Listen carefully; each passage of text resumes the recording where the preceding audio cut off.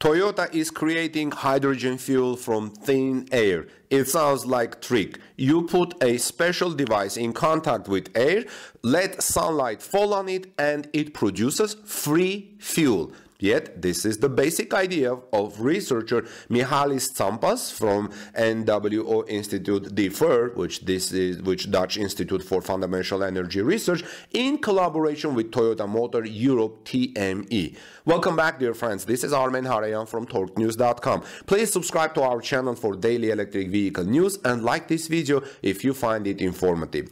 The research partners Toyota and DIFFER want to develop a system that absorbs water vapor and uses solar energy to subsequently split that vapor into hydrogen and oxygen. The research project is made possible by a grant from the NWO ENWPPS fund.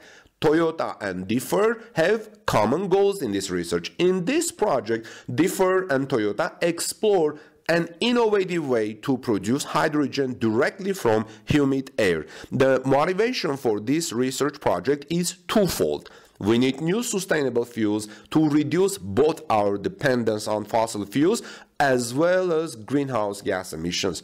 One of these sustainable fuels is hydrogen, which can be used to store solar energy directly.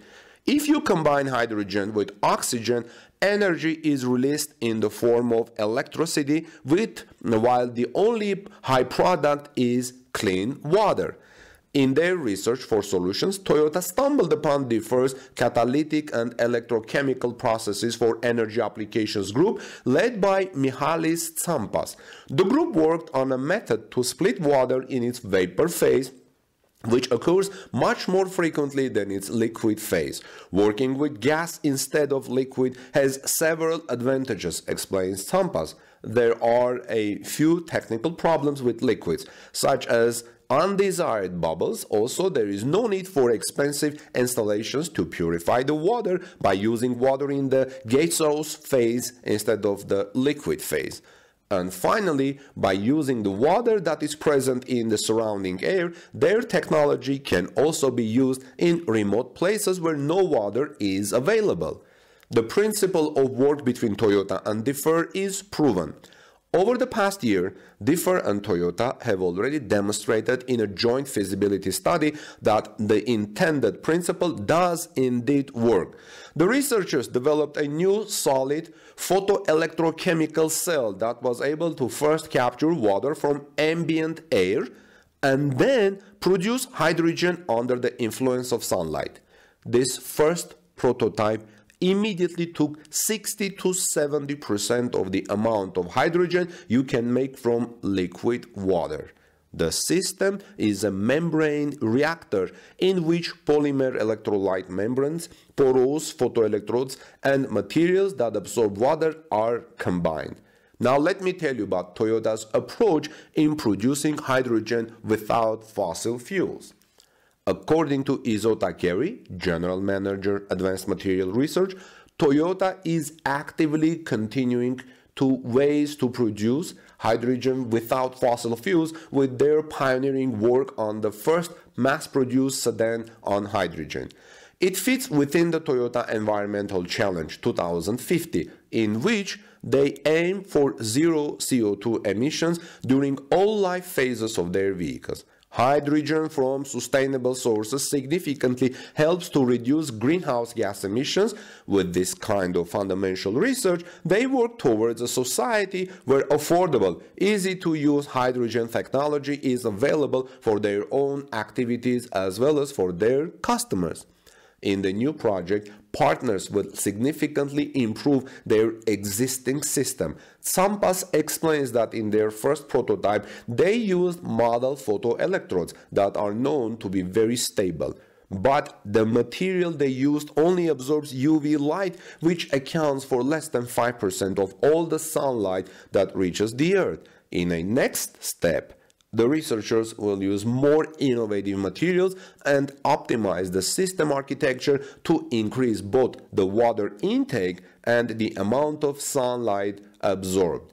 Once that hurdle has been taken, the focus shifts to scaling up the technology. The current pro, uh, photoelectrochemical cells for hydrogen production are very small, approximately a square centimeter. In order to be economically viable, their size must be scaled up at least two to three orders of magnitude. Tsampas expects that in the end, you will see these types of systems in homes where they produce the hydrogen needed to fuel a car for daily commute. In the meantime, Toyota is getting its game with BZ4X battery electric crossover. Though it remains skeptical of battery electric technology, Toyota's new BZ4X electric vehicle concept offers a strong hint of what to come when it launches the first of what will be seven all electric Beyond Zero models starting next year. First shown at the Shanghai Motor Show in April, the BZ4X is making its US debut during a four-day media gathering at Toyota headquarters outside Dallas this week.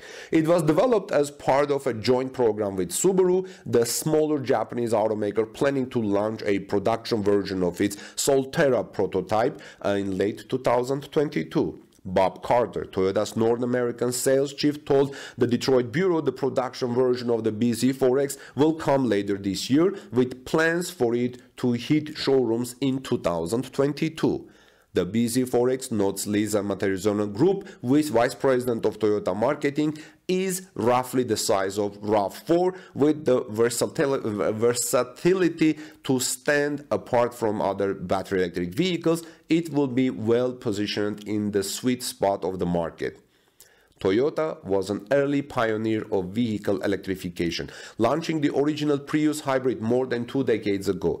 Today, it sells more gas electric vehicles than any other competitor, but the company remains skeptical of pure battery electric technology.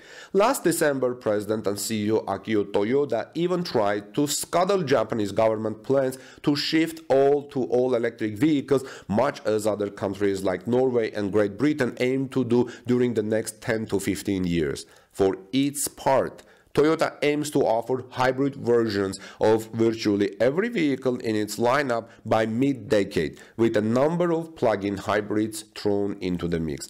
But the debut of the BZ4X and the production model to follow shows it can no longer resist the inevitable, according to Stephanie Brinley, principal auto analyst at IHS Markit.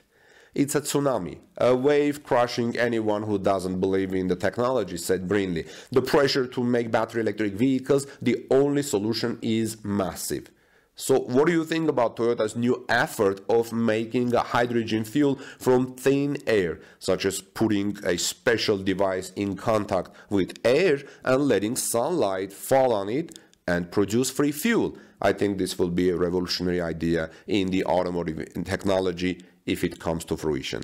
This is Armen Hareyan from TorqueNews.com. Please subscribe to our channel for daily EV news and ring the bell so you don't miss my next coverage. Have a great day, everyone, and God bless you all.